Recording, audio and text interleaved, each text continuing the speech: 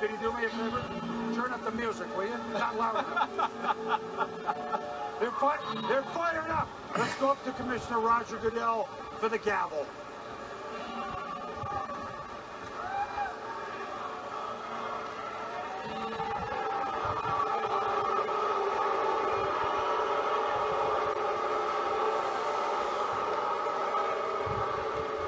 I got you.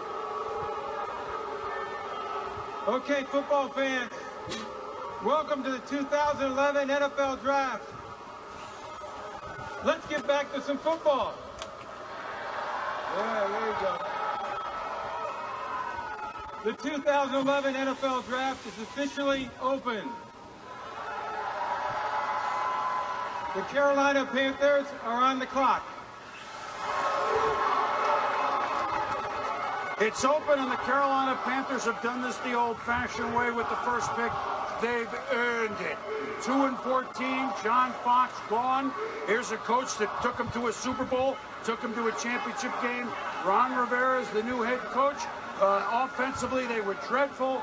They were the worst. Statistically, overall, they were the worst in passing. However, there's nowhere to go but up.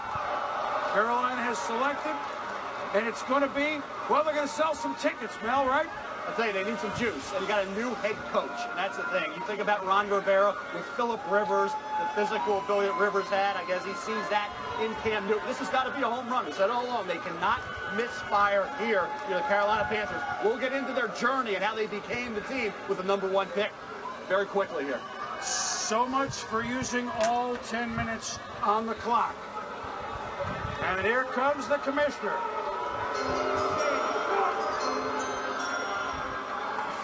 With the first pick in the 2011 NFL Draft, the Carolina Panthers select Cam Newton, quarterback, Auburn.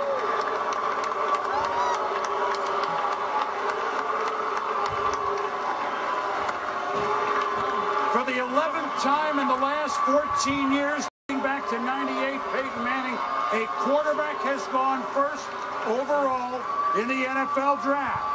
Will the result be similar to Peyton Manning, which has been pretty darn good? Will the result be something else? There have been number ones that have been pretty darn bad. But there, you know, hope springs eternal at the NFL draft, and Cam Newton is a specimen unlike most any others ever to play the position. I'm sure both of you gentlemen agree. Well, I think the thing about the NFL now is the rules. And you have a big kid at 6'5", 250 that's able to shrug off defenders. You can't hit him low, you can't hit him high. If you look at Cam Newton, boy, he is tough to get to the ground. He obviously, you talk about Ben Roethlisberger and his success improvising. That's what Cam Newton's going to bring to the National Football League. Cam Newton's way is just instinctively making plays and winning football games. You see the ability here in the open field to make people miss unique qualities for a kid that's 6'5", 250, runs a consistent 4'5", 40, strong arm. You don't have to tweak his mechanics, change or alter his delivery any. This kid can spin the football. Accuracy, pretty good. I mean, talk about 66% completion percentage. The issue is precision passing. Tighter windows in the NFL. Can he handle that? Cam Newton comes in with a ton of upside, a ton of expectations. Big risk, though, are the intangibles going to be good enough? It's going to work hard enough to maximize all that ability that he brings to the quarterback position. Cam Newton's got to show that once he's in the NFL. We don't know that. We don't know if he's going to be the first one in, the last one out. We don't know if he's going to be the hardest worker on that team. Carolina's rolling the dice that that work ethic, that passion to study and prepare is there to augment all that ability. Well, we have a record, the shortest time between two interviews. Not yet drafted and drafted. Eight minutes, Suzy Kolber. Cam before and Cam after. And in between, we watched him receive the biggest phone call of his life. Who was on the other end and what did he say? Ron Rivera, Mr. Marty Hurney. And just to get that phone call, man, oh my God, it was just like a shock went through my body, man. I'm just blessed to be a part of a great organization, and uh, I'm ready to get to work. What do you want Panthers fans to know about you? Um, well, right now, I, I'm blessed for, for, for this whole organization to, to, to put faith in me uh, in this pick.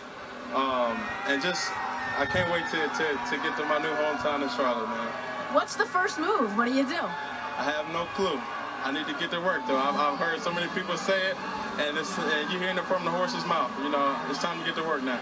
Congratulations. Thank you so much. All right. You know what? Thank you, Suzy. Cam, it's an interesting study. Let me just read the names, which is